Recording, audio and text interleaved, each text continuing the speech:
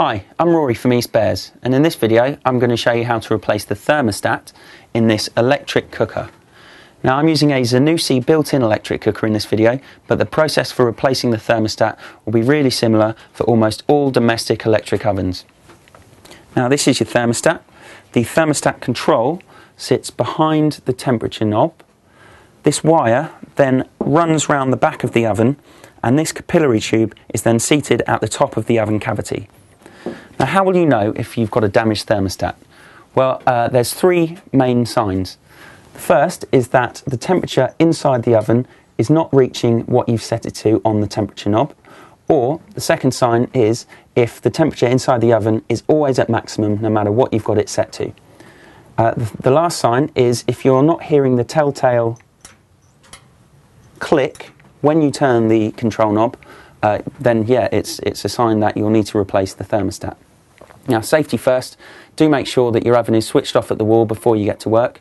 There should be a switch in the general vicinity, or if you can't see it, it might be in one of the units above, below, or to the side of the cooker, but do make sure it's switched off. Um, the thermostat is situated at the back of the cooker, so if you've got a built in one like this one, then you'll need to remove it from its cavity.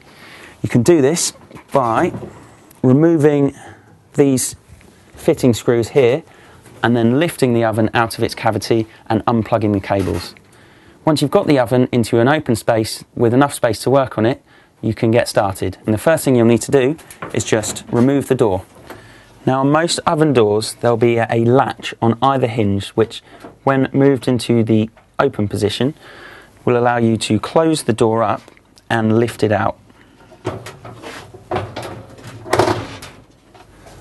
So here we can see the thermostat's capillary tube, which is situated at the top and back of the oven cavity.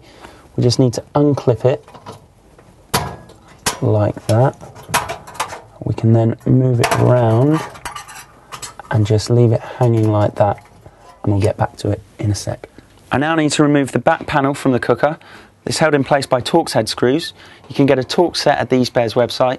I'm just going to use a Torx bit on the end of a screwdriver. Just need to remove these two top panels as well.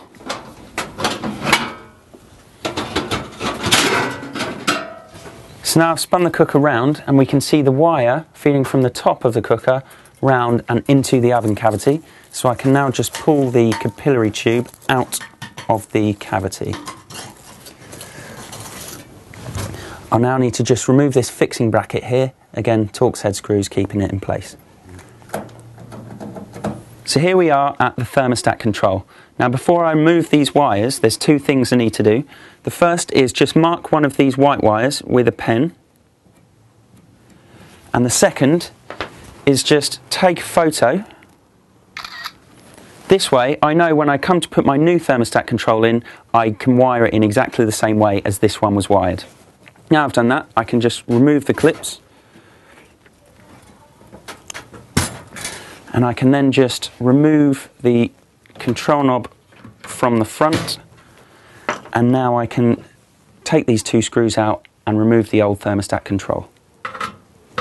I can now get rid of the old thermostat and put that to one side and get my new one and I'm just going to now do the exact opposite of what I've just done.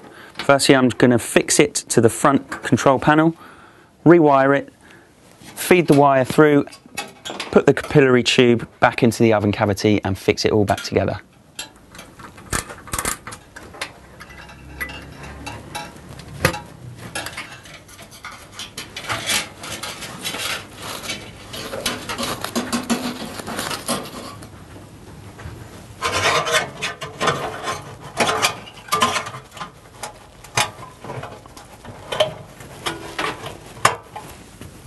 Now all I need to do is just put the panels and the door back onto the oven. Don't forget to put the latches down on the door when you're refitting it. And that's how easy it is to fit a thermostat on an electric cooker. Before you get cooking again, it's best to give it a bit of a clean inside the oven cavity as there'll probably be a bit of debris from the work you've just done. Thermostats for all make and model of cooker are available on the eSpares website. Thanks for watching.